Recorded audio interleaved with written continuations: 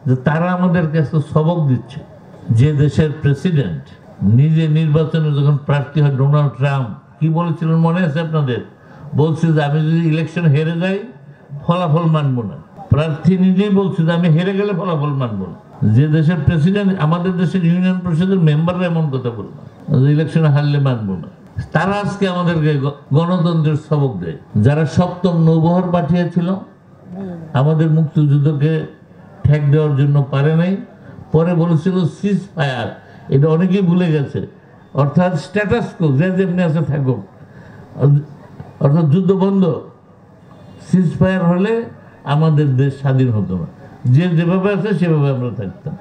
এই সমস্ত দূরভিসন্ধি, এমনকি দেশ স্বাধীন হওয়ার পর আমাদের মহান নেতা, জাতির পিতা বঙ্গবন্ধু যখন জাতিসংঘের সদস্য পদের জন্য আবেদন করেছিলেন সেই দিন ব্যাটু দেওয়া হয়েছিল, বাংলাদেশকে যেন জাতিসংঘের সদস্য করা না হয়।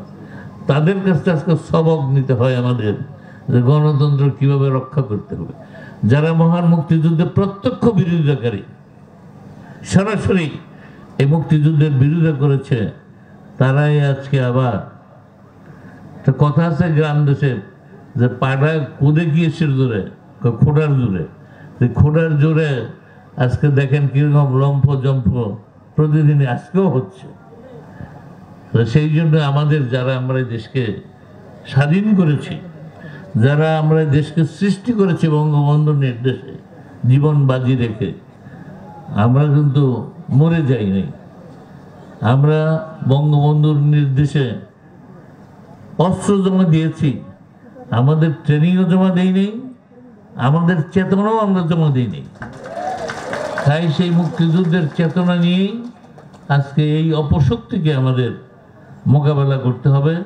সেই জন্য আমি মনে করি যে আমরা যারা আজকে এখানে বীর মুক্তিযোদ্ধা আমরা উপস্থিত আছি এবং আমাদের যারা প্রজন্ম, তাদের দায়িত্ব হবে যে কোনো মূল্যে এই যে স্বাধীনতার পতাকাকে পতাকাকে খামছে ধরার জন্য এই যে শকুনরা যেভাবে এগিয়ে আসছে, এদের মোকাবেলা করতে হবে। যে বঙ্গবন্ধুকে হত্যা করার পর মুক্তিযুদ্ধের পরিচয় আমরা দিতে পারি নাই। আর আজকে এই বঙ্গবন্ধু রক্তে রক- রক্তের উত্তরাধিকার, আদর্শের উত্তরাধিকার, সফল রাষ্ট্রনায়ক দেশরত্ন শেখ হাসিনা রাষ্ট্রীয় ক্ষমতায় থাকার কারণে মুক্তিযোদ্ধাবাহীদের যে স্বীকৃতি, যে সম্মান, সেটা দিন দিন আমাদের রাষ্ট্রের অবস্থা যেমনি ভালো হচ্ছে, আমাদের তেমনি স্বীকৃতি বা সম্মান, মর্যাদা একইভাবে বৃদ্ধির জন্য আমাদের মহান নেত্রী কাজ করে যাচ্ছেন।